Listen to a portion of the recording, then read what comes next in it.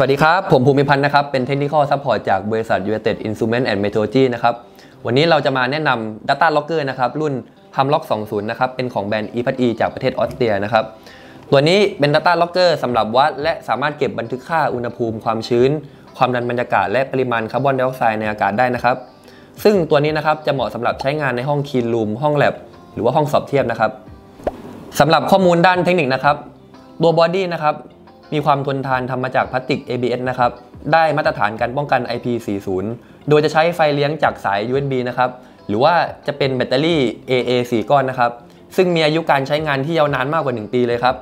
Humlog 20 นะครับ มีช่วงการวัดอุณหภูมิตั้งแต่ลบ20 ถึง 50 องศาเซลเซียสนะครับ โดยที่มีค่าความแม่นยำอยู่ที่บวกลบ0.3 องศาเซลเซียสนะครับ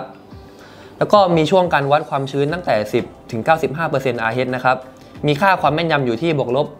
2% RH นะครับ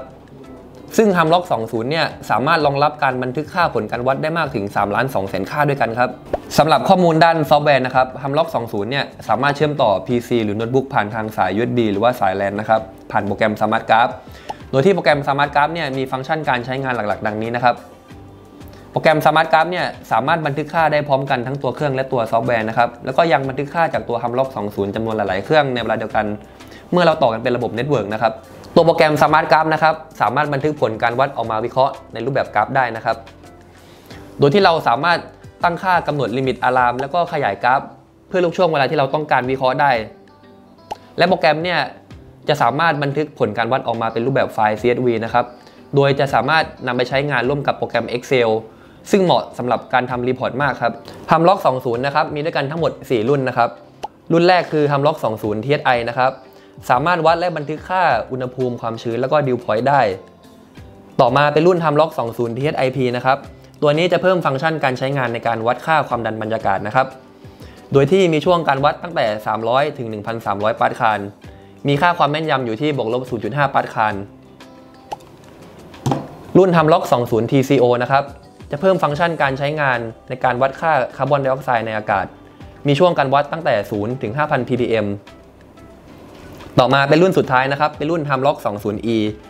รุ่นนี้จะเป็นรุ่นที่สามารถรับ Input จากภายนอกนะครับ มีทั้ง terminal เพื่อต่อเซ็นเซอร์อุณหภูมิจำพวก PT100 หรือ PT1000 thermocouple type ต่างๆ หรือว่าพวกสัญญาณทางไฟฟ้า 0-10 โวลต์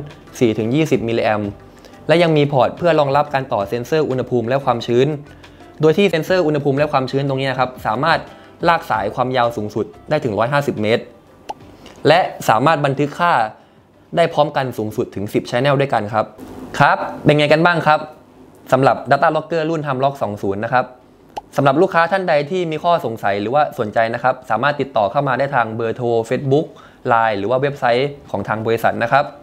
อย่าลืมกดไลค์กดแชร์ กด Subscribe ด้วยนะครับสำหรับวันนี้ สวัสดีครับ